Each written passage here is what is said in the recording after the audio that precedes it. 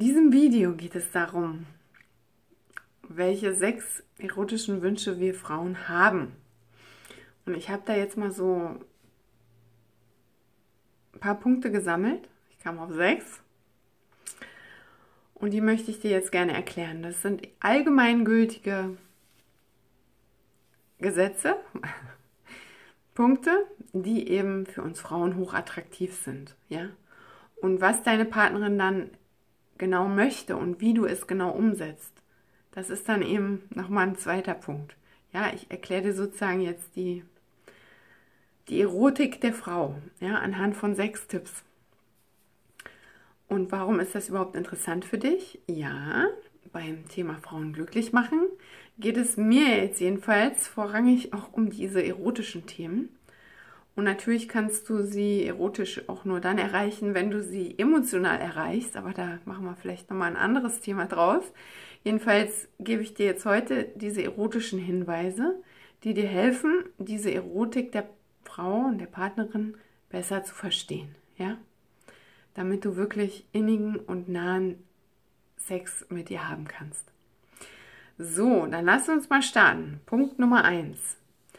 Und zwar kann das sein, dass du diesen Punkt vielleicht schon gehört hast, aber dass du ihn vielleicht nicht ganz verstanden hast. Und zwar geht es darum, dass du mit all deinen Sinnen wahrnimmst und sozusagen deine Körperwahrnehmung von deinem besten Stück, was ja auch seine Berechtigung hat, dass du damit fühlst und wahrnimmst, ausweitest auf deinen gesamten Körper und alle deine Sinne.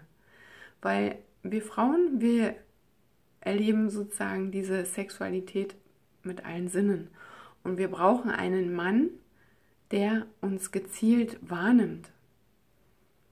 Also es geht um deine Wahrnehmung, schärfe deine Wahrnehmung deiner Hände, deiner Ohren, deiner, naja, ne, deiner, deines Mundes, deiner Haut, deines Körpers insgesamt und so weiter. Weil nur wenn du das klar hast, kannst du sie überhaupt erreichen. Ja, weil das ist dein, wie soll ich sagen, dein Handwerkszeug, ja, um dann mit ihr eine Sprache zu sprechen. Wenn du nicht wahrnimmst, wie sie stöhnt oder wie sie sich bewegt, dass sie irgendetwas mag oder nicht mag, dann kannst du dich auf den Kopf stellen und sonst wie viele Stoßtechniken oder Orgasmusarten üben, wenn du dann nicht die Rückmeldungen verstehst, die sie dir gibt. Okay? Also, Öffne deine Wahrnehmung für alle deine Sinne. Punkt Nummer zwei. Es geht darum, oder ist jetzt auch wieder so ein Fallstrick, jedenfalls für den deutschen Mann. Es geht um uns Frauen darum, dass wir uns gefühl, äh, geführt fühlen. Ja? Also wir wollen geführt werden. Nicht die ganze Zeit. Und es ist auch nicht gemeint, dass du pur dominant bist, sondern es ist gemeint, dass du sie ne, dass du mal ihren Schubs da gibst oder da gibst, mal die Stellung wechselst, dreh dich um. Diese Sachen sind gemeint, ja? Dass du immer genau weißt, was jetzt als nächstes ansteht. Und mit immer meine ich jetzt nicht die ganze Zeit im Sexspiel, sondern dass du eben die Richtung weißt, ja? Und dass natürlich das auch ein Hin und Her sein darf, aber wenn sie sich dann, oftmals ist es so, wenn es ein Hin und Her ist und keiner führt, dann langweilt sie sich und dann Irgendwann. Oder dann will sie keinen Sex mehr. Ja? Insofern kann ich dir raten, geh in die Führung. Und wie ich Führung verstehe, da habe ich in meinem Podcast schon ganz viel gemacht, falls du jetzt hier reinschaltest. Und ähm, ja, der Kanal ist ja gerade erst am Entstehen. Aber ich werde da sicher auch noch ganz viele Videos zu machen, weil das ist meine zentrale Aufgabe, über die erotische Führung des Mannes im deutschsprachigen Raum zu sprechen und den Männern da wieder zu zeigen, dass sie sich selber die Erlaubnis geben dürfen, die Frau im Bett zu führen. Ja? Das machen viele Männercoaches und Sexcoaches für Männer machen das schon. Ja? Ich mache das auch. Ich bin eine Frau und ich weiß, wie wir Frauen fühlen und was wir uns im tiefsten Inneren wünschen. Ja? Und ich kann dir sagen, das ist hocherotisch okay, wenn du das bisher noch nie gemacht hast und auch keinen blassen Schimmer hast, wie das geht, dann musst du das lernen, dann ist das auch ein Weg, weil es funktioniert nicht von heute auf morgen. Ne? Viele denken so, wie, wie man sich so einen klassischen Chef vorstellt. Ja, der macht irgendwelche Anweisungen und dann schwupptet. Ja, aber beim Sex funktioniert das auch nicht. Ne? Da geht es nur eben, indem du wahrnimmst und weißt, wo sie gerade steht, dass du dann die richtigen Mittel einsetzt und sie so unterstützt, dass sie sich eben vollkommen hingeben kann und auf allen möglichen Ebenen zum Orgasmus kommen kann. Ja. So, das ist Punkt 2 Führung. Punkt 3 geht es um, und jetzt kommen wir so ein bisschen tiefer, um diese weibliche Fantasie. Und ich würde sagen, der Punkt, ich habe ihn jetzt genannt, ähm, eine verspielte Versautheit zeigen. Ja? Also verspielt heißt sozusagen immer wieder kurz rankitzeln und dann wieder ganz brav sein und also so mit ihr sprechen. Ja, das heißt, es ist eine, eine spielerische Annäherung an diesen versauten pa Part oder versauten Teil der Sexualität. Diesen versauten Teil gibt es in jedem von uns, ja. Und ich weiß, wir Frauen tun uns sehr schwer damit, dass wir uns diesen versauten Anteil zugestehen und den annehmen, ja. Aber dafür darfst du als Mann, darfst du da reinfühlen, wo sie gerade steht und was sie da will. Und sie dann da anträgern, ja. Es geht also da nicht darum, sie also im Dirty Talk passiert das oft, dass die Männer dann zu schnell, zu versaut reden und das dann eben so in die Richtung ähm, Abwertung, also die Frau nimmt es dann als Abwertung wahr, geht. Nee, das soll es eben nicht sein, sondern es soll so eine sanfte Verspieltheit sein. Na, streckst du mir deinen Popo hin? Toll. Komm, streck ihn mal noch ein bisschen mehr raus. Brav, ne? Also ich spinne jetzt. Ne? So, ich weiß schon alleine diese Sätze kann fast gar kein Mann in Deutschland oder im deutschsprachigen Raum. Aber egal, so habt ihr mal ein bisschen was zum als Inspiration. So, Punkt Nummer 4.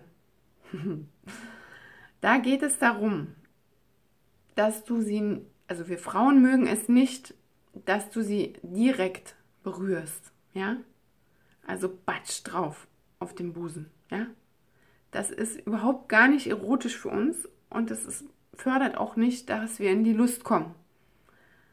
Oder eben komm ins Bett. Oder was viele Frauen äh, hören.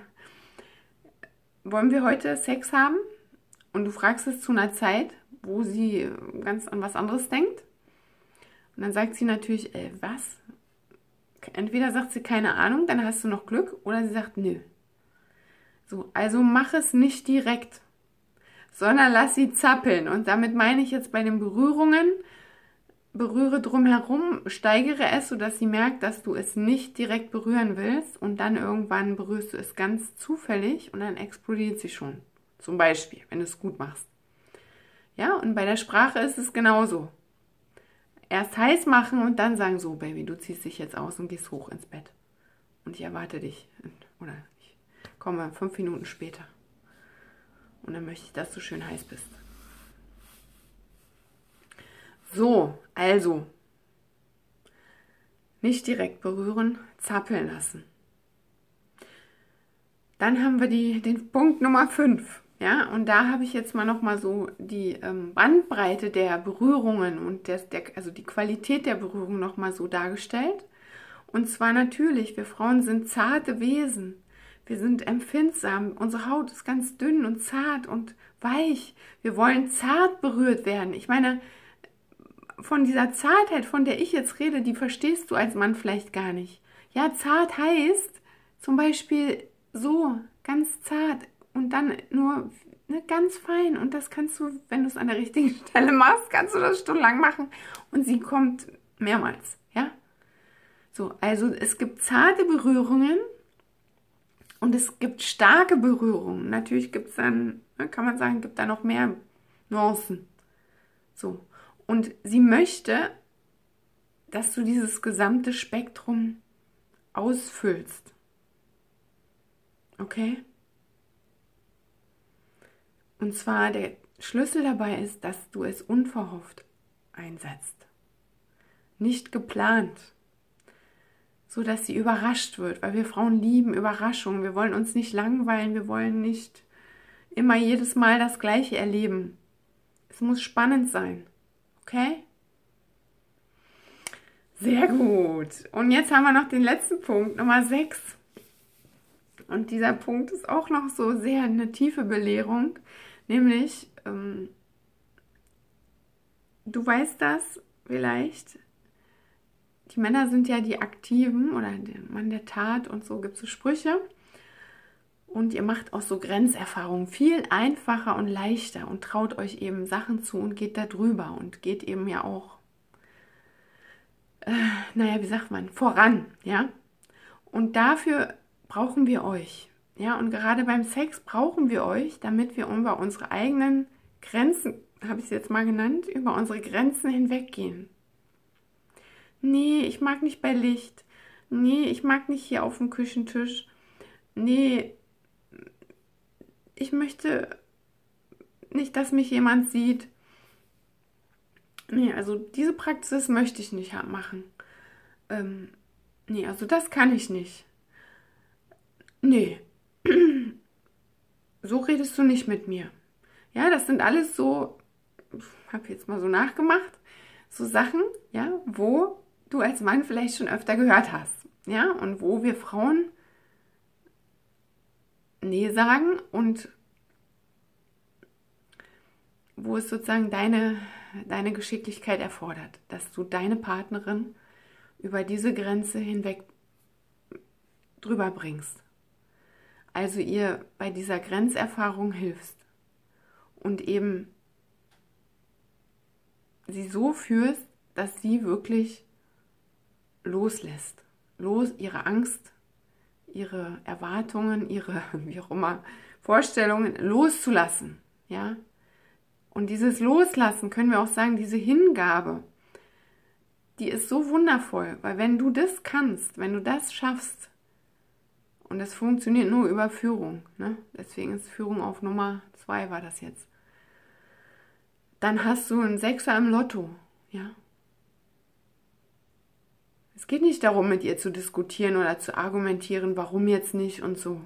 Nein, es geht darum, sie so heiß zu machen, dass du sie dann mitnehmen kannst über diese Grenze.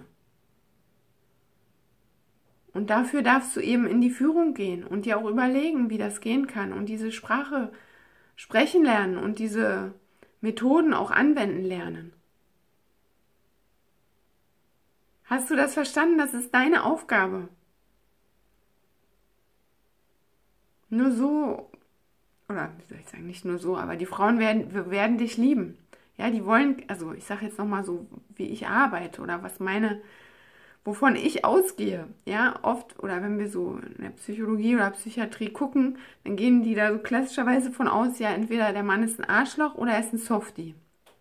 Und dazwischen gibt es nichts.